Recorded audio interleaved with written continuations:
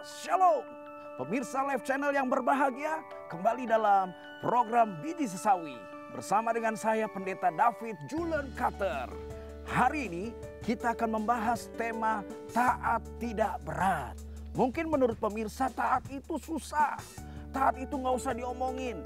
Taat itu kayaknya cuma slogan saja. Tapi ingat, firman Tuhan tetap mengingatkan, menyarankan, bahkan menghimbau dan juga memberikan peringatan kepada kita. Tuntunan juga buat kita.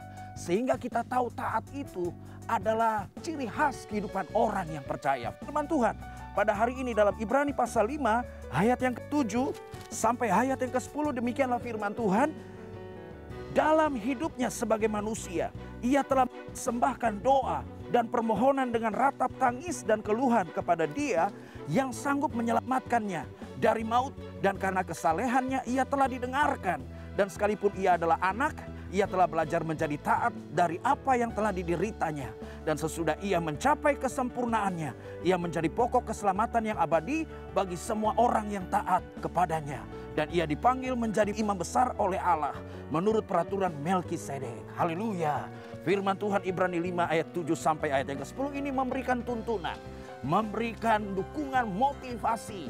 Yesus saja sewaktu jadi manusia taat dan Yesus taat sepenuhnya kepada Bapa. Berarti saya dan saudara yang dikasih oleh Yesus, yang sudah menerima yang terbaik dari Yesus, yang sudah menerima hal-hal yang spesial dari Yesus. Kita ada sebagaimana kita ada sampai saat ini, mari kita taat. Mari kita katakan Tuhan, hanya Tuhanlah perlindungan dalam hidup ini. Hanya Tuhanlah pengharapan dalam hidup ini. Hanya Tuhanlah sumber kekuatan dalam kehidupan saya. Dan oleh karena itu saya tidak akan pernah mau jauh dari Tuhan. Jadi ketaatan itu yang pertama. Taat tidak berat ketika saya dan saudara memutuskan. Ketika saya dan saudara mengatakan bahwa Tuhan yang menjadi uh, andalan kita. Yang menjadi pengharapan di dalam kehidupan kita. Yang kedua, taat tidak berat ketika kita lihat firman Tuhan. Ketika dengan sungguh, dengan rindu, dengan haus, kita mau firman Tuhanlah yang menguasai hidup kita. Dan kemudian taat tidak berat ketika kita benar-benar memiliki komitmen, tekad yang kuat bahwa sekali Yesus sampai kapan pun juga hanya Yesus. Jadi di dalam mengatasi segala tantangan, di dalam mengatasi segala persoalan, di dalam seluruh sikap hidup kita, dalam seluruh kehidupan saya dan saudara pemirsa yang berbahagia, maka ketaatan itu menjadi ciri khas, menjadi bagian yang tidak pernah terpisahkan. Karena Kristus Yesus saja taat, sewaktu dia jadi manusia, dia adalah pribadi dan dia menjadi teladan buat saya dan saudara.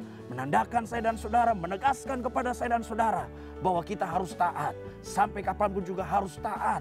Dan sampai selama-lamanya kita harus taat. Mau bagaimanapun, mau apa pun juga yang akan terjadi. Ketaatan itu penting. Ketaatan itu harga mati. Ketaatan itu ukurannya. Yaitu karena Kristus taat, maka kita taat. Karena Kristus taat, maka kita mau tetap menyerahkan hidup sepenuhnya kepada Yesus kita mau semakin dekat melekat hanya kepada Yesus.